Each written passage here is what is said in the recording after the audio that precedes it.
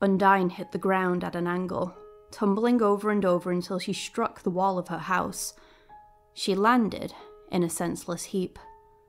Papyrus skidded to a halt at her side and fell to his knees, tears streaming down his face. Oh God, oh God, oh God. He'd been afraid this would happen. Undyne! His hands shook. Her arm was folded under her at an unnatural angle, but he was afraid to move her in case he hurt her worse. Blood trickled from her slack mouth, stained her white tank. Oh my god, he moaned.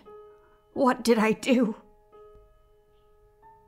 He wanted nothing more than to bind his magic up tightly so it couldn't do any more damage, but Undyne needed help. The worst of her wounds was the gash his attack had put in her chest.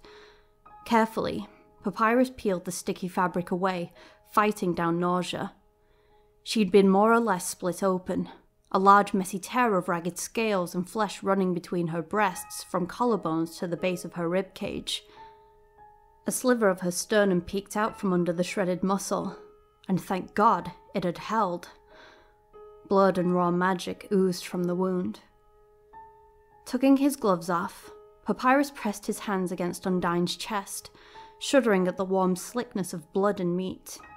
Undyne's magic prickled against the bones of his hands, and he poured as much of his own magic into his healing spell as he could muster.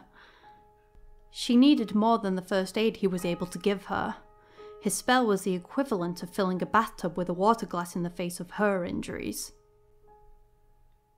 This must be a nightmare.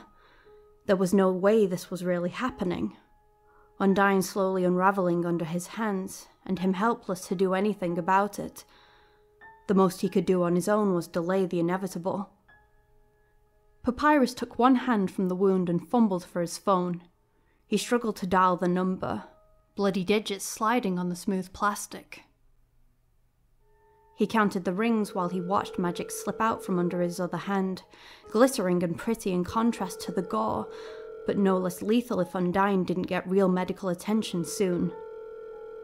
At the last ring before it went to voicemail, his brother picked up. Yeah?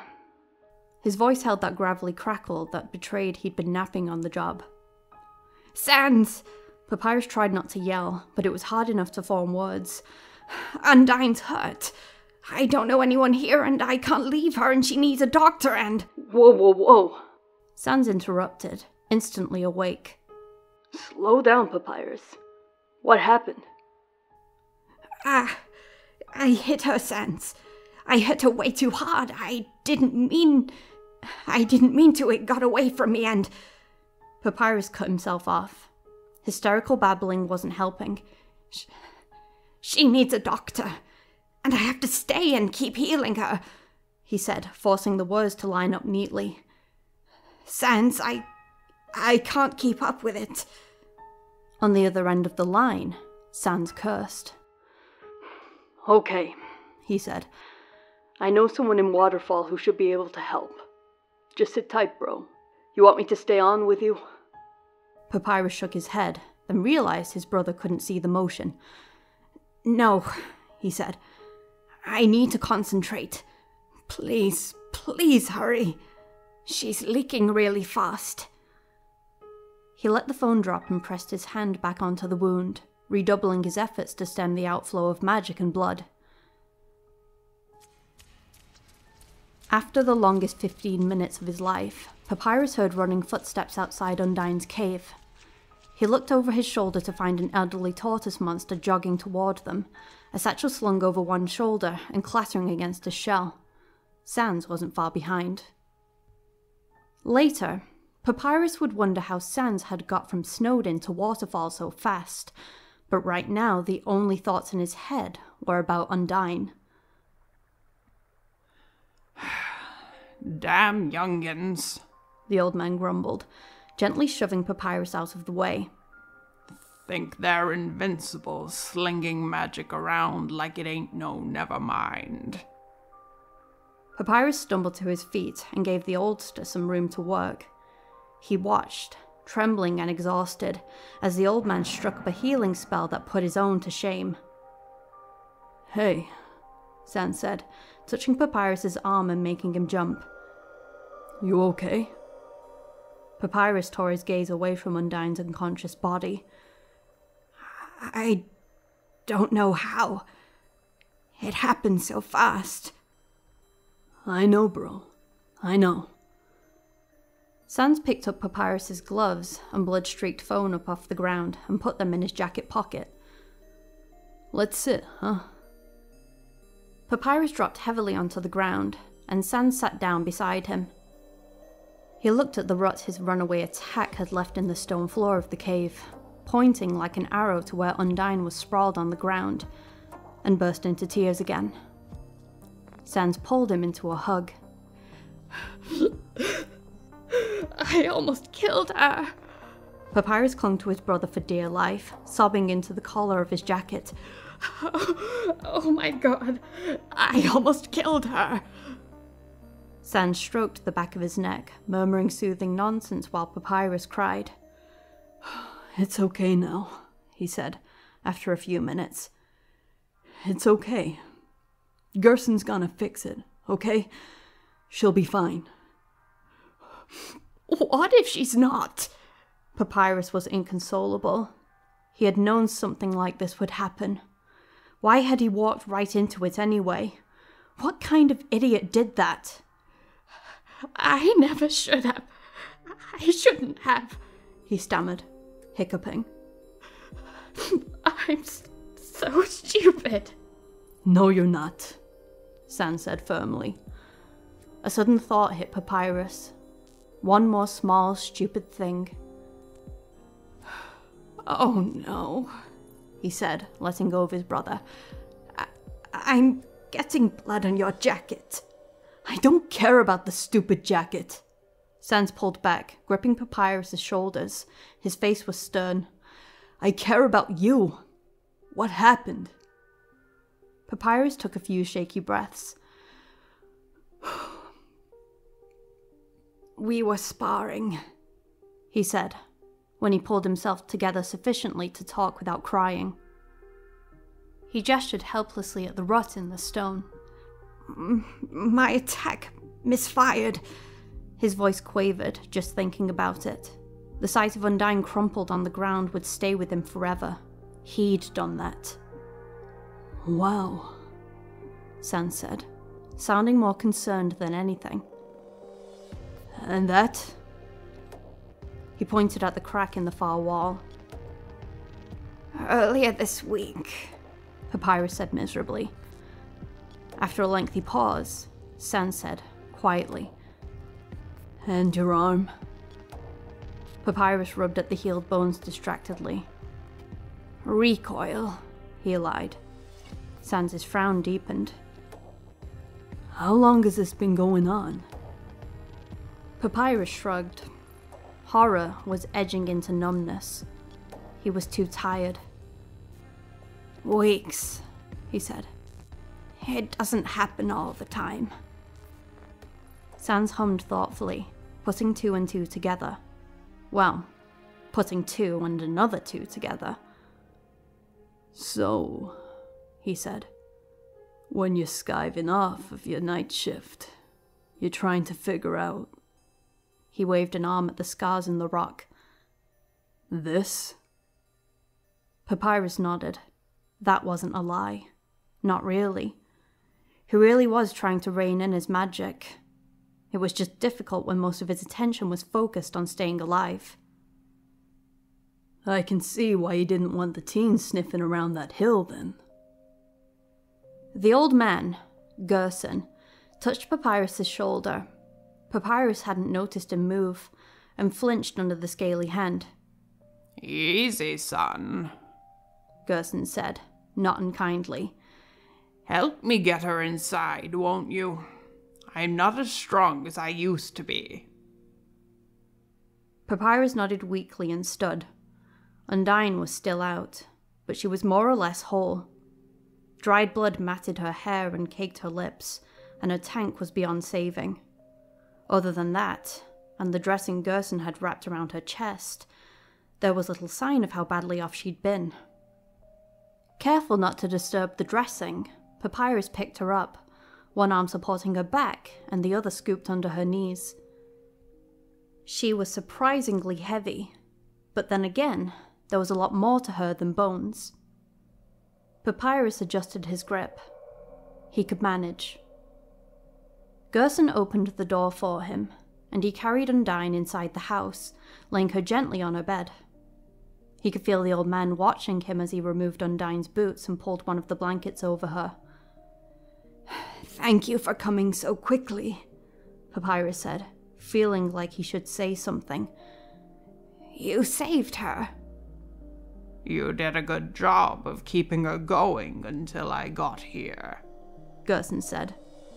Papyrus frowned. I'm the reason she got hurt in the first place. Gerson chuckled, a rusty, dry sound. oh, she'll be all right, he said. I've known that girl since she was just a small fry. She's tough as nails and reckless, he added. But I'm sure you know that. Tell me, he said, peering up at Papyrus. I overheard you talking. What were you feeling when your magic went wild? Do you remember? Papyrus met the old man's rheumy eyes. Um, he said. I'm sorry, but I don't remember. It's a blur. That's all right, son. Gerson scratched at his chin with blunted claws. You know, the same thing happened to me back in the day. Really? Papyrus was already grateful to the old man for healing Undyne. The news that he wasn't suffering alone like some kind of freak had him ready to adopt Gerson into the family. Gerson nodded. It wasn't unusual during the war. Not unusual at all. Our magic is part of us, son. And if things get bad enough, it starts to react on its own. He shrugged and gave Papyrus a disturbingly knowing look.